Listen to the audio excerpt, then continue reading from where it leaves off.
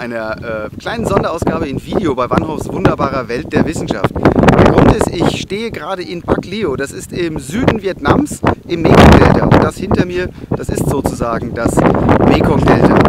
Ähm, was wir hier sehen, das sind Mangroven. Und die Mangroven sind hier ziemlich wichtig, weil sie schützen eigentlich die Küste vor dem da. Und das da, das ist das Meer. Das Meer, das kommt hier rein die Mangroven, die sollen eigentlich dafür sorgen, dass es eben nicht zu weit ins Land geht und äh, vor allem gegen die Erosion schützen. Das Problem ist nur, hier werden durchaus einige Regionen abgeholzt. Unter anderem für Projekte wie dieses, das ist ein Tourismusprojekt.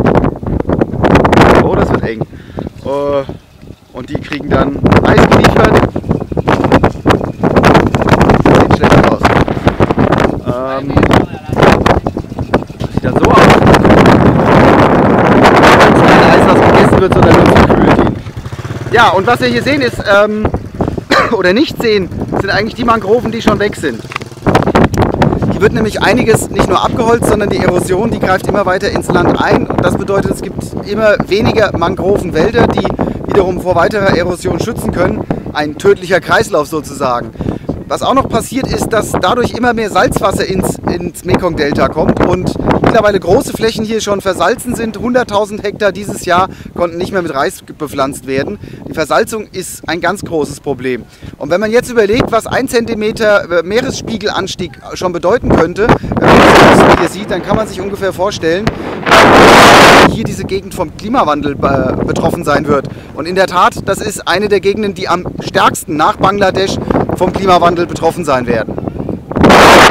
Es ist eigentlich eine sehr schöne Gegend hier und ähm, da unten kann man auch mal Krabben sehen und es gibt sogar einen Vogelpark.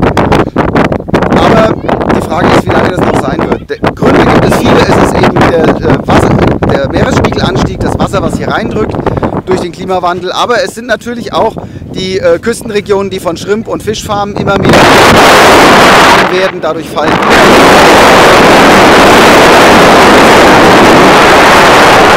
Leuten auch klar zu machen, dass sie das auch besser überlegen sollten, was sie da tun oder ob es da andere Möglichkeiten gibt. Unter anderem auch Schrimpfarmen zu unterstützen, etwas nachhaltiger zu produzieren und auch mit den Regierungen.